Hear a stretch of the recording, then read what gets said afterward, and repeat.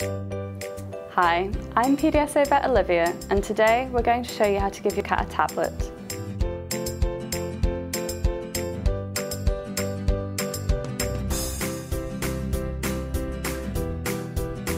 It's usually easier if you can have two people, one person to hold the cat and the other person to concentrate on giving the medication.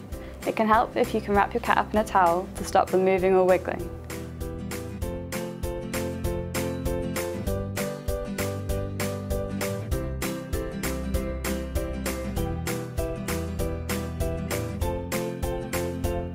Hold the pill between your thumb and forefinger and use your other hand to hold the cat gently under its cheekbones and tip their head back. Use your first hand to open the mouth gently and pop the pill right at the back of the mouth.